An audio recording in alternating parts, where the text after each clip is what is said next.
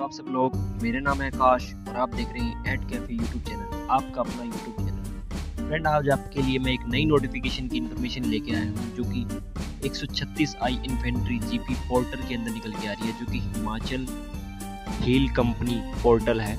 इसके अंदर ये वैकेंसी निकल के आ रही है फ्रेंड फ्रेंड इसके अंदर 600 पोस्ट है। 600 पोस्ट के अंदर भी आपकी वेरियस पोस्ट निकली हुई हैं। हम आपको हर एक इम्पोर्टेंट इन्फॉर्मेशन देने वाले हैं इसी एक वीडियो के अंदर। फ्रेंड आपको ए टू जेड जानकारी मिल जाएगी इस नोटिफिकेशन के बारे में। तो फ्रेंड आप वीडियो को लास्ट तक ज़रूर देखना। चलिए फ्रेंड अब देखते हैं ऑफिशियल नोटिफिकेशन को। देखिए फ्रेंड यह नोटिफिकेशन निकला है। फ्रेंड इस नोटिफिकेशन का लिंक आपको वीडियो के डिस्क्रिप्शन में मिल जाएगा। फ्रेंड इस नोटिफिकेशन को इंग्लिश और हिंदी दोनों में रिलीज़ किया गया है। तो फ्रेंड जिसमें आप कंफर्टेबल हो, उसमें आप इस नोटिफिकेशन को रीड आउट कर सकते हो। फ्रेंड अब इस नोटिफिकेशन की डिटेल से इन्फॉर्मेशन लेते हैं। देखिए फ्रेंड इसके अंदर जो वैकेंसी निकली हुई है, वो 136 आई infantry brigadier group Himachal hill portal company के अंदर 179 दिनों की संविधानता पर अस्थायी आधार पर यह भर्ती करी जा रही है अभी फ़िलहाल। तो इतनी ही अपडेट आई है इसके लिए। फ्रेंड इसके अंदर 600 पोस्ट मैंने पहले ही बता दिया गया था। अब इसके बाद इन पोस्टों को, इन पोस्ट को डिवाइड किया गया है। पोर्टर्स सहायक, असैनिक कर्मचारी, सफ़ाई वाला और जेसीबी ऑपरेटर।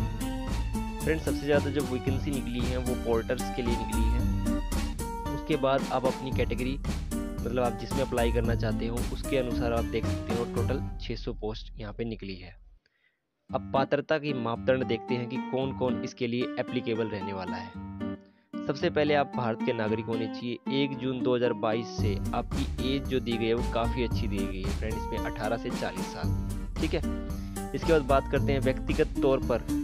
वो व्यक्ति मतलब फिट होना चाहिए एक तो मेंटल लेवल पे भी और फ़िज़िकल लेवल पे भी। दोनों पेज में बताया गया है। नेक्स्ट पॉइंट की बात करें तो व्यक्तिगत ग्राम पंचायत द्वारा पहचान पत्र होना चाहिए आपके पास, या राशन कार्ड होना चाहिए, या आधार कार्ड होना चाहिए, कोई भी एक आईडी आपके पास होनी चाहिए, ठीक है? उसे कभी भी कोई कारावास नहीं हो मतलब आपके ऊपर कोई भी केस वगैरह नहीं हो। ऐसे व्यक्ति द्वारा संबंध मतलब अगर आपके पास ऐसे कोई गलत इन्फॉर्मेशन देते हो और बाद में आप पकड़े जाते हो तो आपको निकाल दिया जाएगा। ऐसे तरीके से इन्होंने बताया हुआ है, ठीक है? फ्रेंड जो पोर्टल्स की पंजीकरण ऑनलाइन होगा यहाँ पे, ये देख लीजिए वेबसाइट इन्होंने दी हुई है, ठीक है? अब बात करते हैं कि इनका एग्ज़ाम होगा या नहीं होगा। तो फ्रेंड इस वैकेंसी के अंदर आपका कोई भी एग्ज़ाम नहीं है। ये विदाउट एग्ज़ाम की है, इसमें डायरेक्ट आपका सिलेक्शन होगा। यहाँ देखिए, परीक्षा या साक्षरता। साक्षरता को हम इंटरव्यू भी कहते हैं एक तरह से। तो वही डेट यहाँ पे बताई गई है और वही प्लेस आपको बताया गया है, जो आपका कुल्लू मनाली हिमाचल प्रदेश के अंदर पड़ने वाला है। ठीक है फ्रेंड हिमाचल की मैं आपको बता ही चुका हूँ, ऊपर कंपनी है ये। अब देखते हैं साक्षरता का स्थान। सॉरी इन्होंने गलत लिखा हुआ है। यहाँ पे इन्होंने टाइम लिखना चाहिए था, पर यहाँ पे स्थान मेंशन किया हुआ है। फ्रेंड अब देखते हैं एक जून से आपका चार जून इस डेट को याद रखना फ्रेंड अगर आप इस वैकेंसी के लिए इंटरेस्टेड हो और आप जाना चाहते हो। सुबह आठ बजे से दोपहर के दो बजे तक आपका ये इंटरव्यू चलने वाला है। ठीक है फ्रेंड अब जो आपको ले जाने हैं वो दस्तावेज़, उनके ऊपर बात कर लेते हैं। आधार कार्ड लेके जाने हैं, उसकी तीन फ़ोटो कॉपी लेके जानी है, ठीक है? बैंक की पासबुक लेके जानी है और उसकी दो फ़ोटो कॉपी लेके जानी है, लेकिन बैंक का नाम इन्होंने मेंशन किया हुआ है बैंक ऑफ़ इंडिया जनधन खाता कभी आप खुलवा के चले जाओ, वो अनिवार्य या स्वीकार नहीं है। अधिवास प्रमाण पत्र मतलब वही डोमिसाइल ठीक है? मोबाइल नंबर को, मोबाइल नंबर अपना और अपने एनओ की देना अनिवार्य है, ठीक है? उसके बाद फोटोग्राफ की बताई गई है, अपनी रंगीन फ़ोटो होनी चाहिए छः और एन ओ की रंगीन चार होनी चाहिए, ठीक है? उसके बाद बात करते हैं 10 जनवरी 2022 के पश्चात।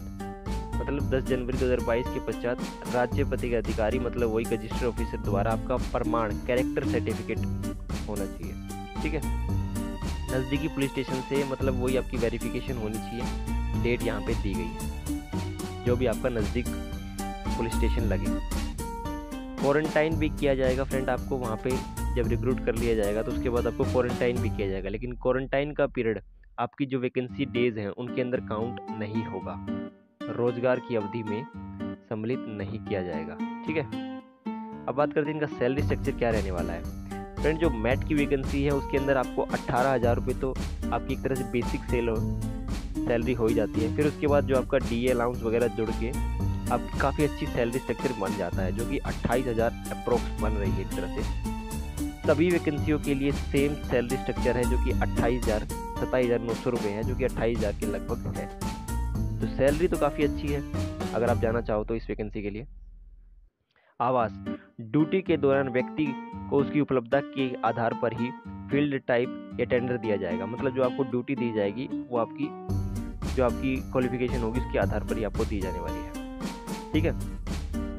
भर्ती के स्थल पर ड्यूटी के स्थान के बाद ड्यूटी में आना और उसके बाद चिकित्सा उपचार की सुविधा मिलने वाली आपको भर्ती अवधि समाप्त होने पर ड्यूटी के स्थल से भर्ती स्थल पर निशुल्क। मतलब आपकी जो सेवाएँ होंगी वो निःशुल्क रहने वाली है। भर्ती स्थल से भर्ती स्थल पर जहाँ पे भी आप स्टे करोगे वो निःशुल्क रहने वाली है। मतलब उनका पे आपको मिल जाएगा एक तरह से। राशन की बात की जाए तो राशन भी आपको एक तरह से मिलेगा।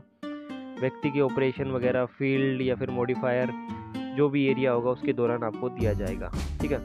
छुट्टी में फ्रेंड आपको छः दिन का कार्य के पश्चात एक दिन का अवकाश दिया जाएगा। ठीक है? चिकित्सा सुविधा बताई दी है, पर चिकित्सा सुविधा फ्रेंड इसमें आप उनकी फैमिली को नहीं मिलने वाली है।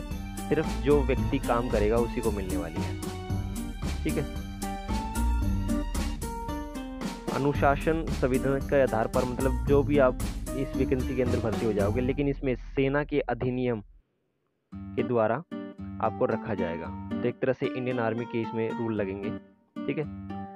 कोविड नाइन्टीन की आपके पास वैक्सीन का प्रमाण पत्र होना चाहिए।